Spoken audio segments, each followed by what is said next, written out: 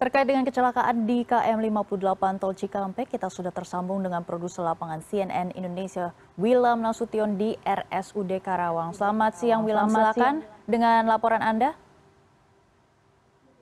Selamat siang.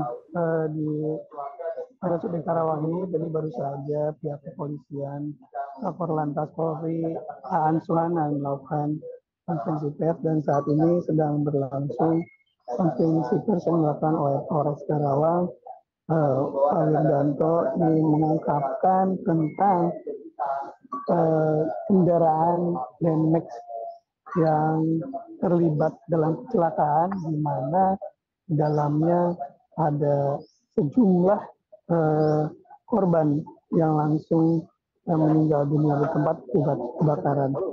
Dalam konferensi pers tadi yang dilakukan oleh Eh, Kakor Lantas Polri disebutkan uh, sejauh ini memang ada sembilan jenazah yang ditemukan, namun ada 12 uh, eh, kantong jenazah yang dibawa masuk ke RSUD Karawang dan bertambah satu menjadi 13 kantong jenazah ini disebabkan karena ada bagian-bagian uh, tubuh yang kemudian disimpan di dalam satu kantong jenazah seperti itu. Dan saat ini baru saja selesai pers yang digelar oleh Kapolres Karawang terkait uh, sejauh mana uh, pihak kepolisian mengetahui identitas dari uh, kendaraan juga orang-orang ada di dalamnya.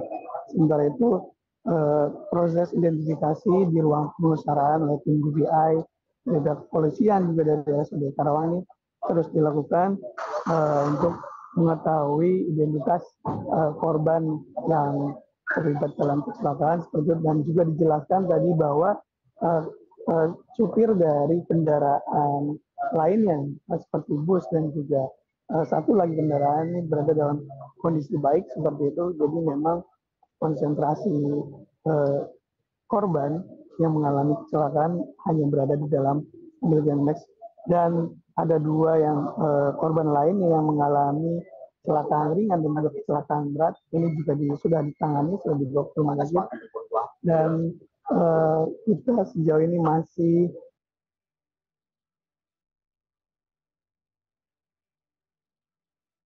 mengetahui uh, identitas korban. Dan tadi juga disebutkan bahwa akan ada pos antemortem ini bagi korban karena sejauh ini memang uh, keluarga korban masih belum ada yang datang ke sini.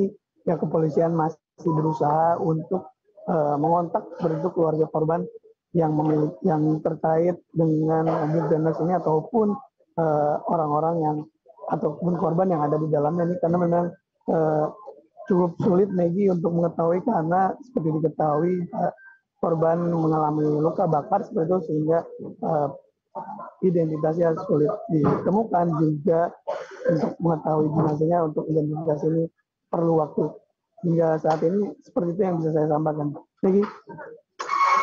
Pak Anda bisa menggambarkan kembali sebenarnya kronologi kecelakaan maut di KM 58 Tol Cikampek ini seperti apa dan apa yang diduga menjadi penyebab utama kecelakaan ini?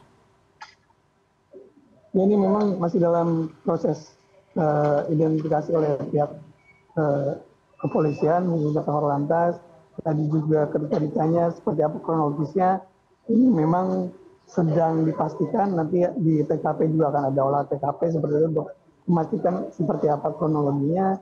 Memang disebutkan mobil sempat oleng seperti itu, namun uh, untuk memastikan lagi kembali proses sedang dilakukan saat ini untuk mengetahui seperti apa uh, kejadian sebenarnya dan penyebabnya uh, supir dalam kondisi seperti apa ini masih dalam pendalaman seperti itu untuk mengetahui dengan jelas seperti apa yang terjadi saat ini memang eh, sejauh ini kronologi yang dapat saya informasikan ini masih simpang siur seperti itu. Ada yang eh, ada beberapa versi dan, dan nanti mungkin akan dipastikan lebih lanjut dari pihak polisian seperti apa. Seperti itu, Maggie.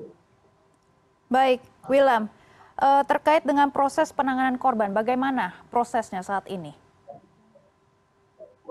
Ya, memang sekitar 15-30 menit yang lalu ini iring-iringan mobil jenazah yang mengangkut uh, eh, 12 korban. Uh, ini kemudian sudah dibawa masuk ke dalam ruang pemulasaran jenazah di RSUD Karawang. Dan kita lihat seperti kondisinya di sini. Pihak kepolisian sudah menunggu dari juga jasa harga sudah menunggu uh, untuk melakukan tadi sekitar lima menit yang lalu release yang disampaikan. Memang ini membutuhkan waktu. Tadi juga saya sempat menanyakan berapa lama proses identifikasi akan berlangsung namun proses identifikasi ini uh, sangat situasional tergantung melihat seperti apa keparahan dari uh, korban. Seperti karena korban mengalami luka bakar seperti ini. Memang tidak bisa dipastikan berapa lama korban bisa diidentifikasi namun tentu saja pihak rumah sakit dan juga pihak DPI dari polisian akan terus menginformasikan perkembangannya seperti apa ini. Baik, Wilam, apa langkah-langkah yang dilakukan untuk mencegah kecelakaan serupa uh, tidak terulang kembali? Ya, ini memang informasi terakhir uh, kontraflow ini dihentikan untuk sementara.